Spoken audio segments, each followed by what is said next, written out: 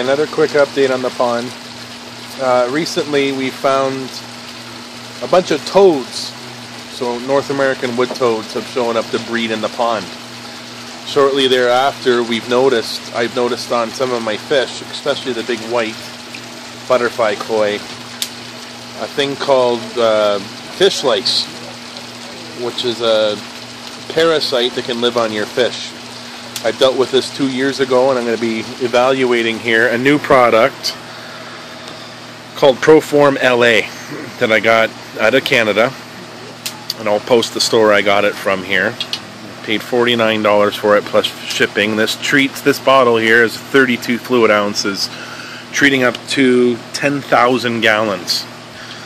So I know for a fact I see some lice on the fish, some larger pond lice, and what I'm going to do is do a treatment here and then we're going to review and see how this product works.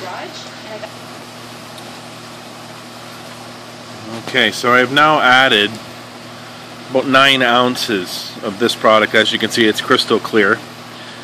This product also says it is safe for ornamental ponds, reptiles, turtles, amphibians, frogs, and other crustaceans. So what I'm going to do is take this product, add it to the pond, and then we're going to do three treatments over the next week. So what I'll do is keep an eye on the fish, and we'll do a, a treatment, the first initial treatment, and see how how the fish look over the next couple days. Okay, I took the time to go into the pond, capture one of the fish, and I found these two. As you can see, these are the pond lice, or Argulus as they're scientifically called, I believe. You see two of them swimming around. So I got these guys swimming around in 8 ounces of water, one cup, or one little cap full of this Proform LA. Pour that in. Now, I've other tried other chemicals. It took forever to take these guys and kill them. So what I'm going to do is time it and see how long it takes for these guys to stop swimming and that'll tell me whether this product works or not. Okay, we're at five minutes exactly into the treatment here. And these two are still swimming around quite a bit. There's one large one on the right here and one baby on the left.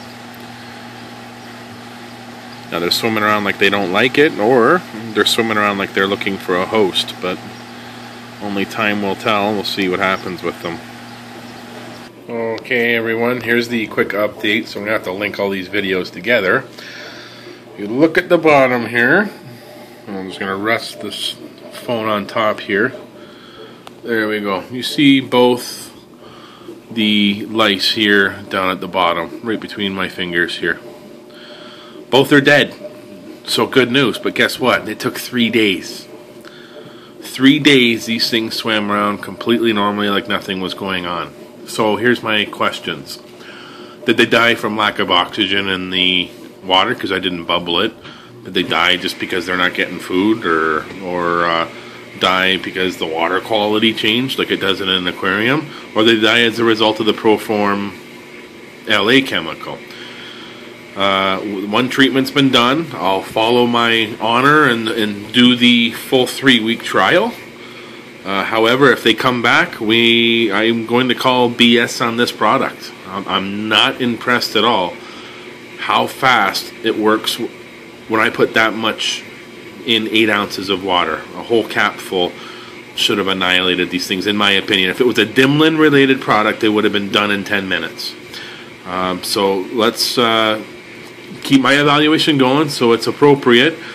Uh, the only thing I could have done is maybe captured two more of these things and put them in a separate cup in the same conditions, same thing, and see if they're still swimming or they're dead as well. Uh, I kind of wish I would have done that make a controlled experiment, I guess, but I didn't.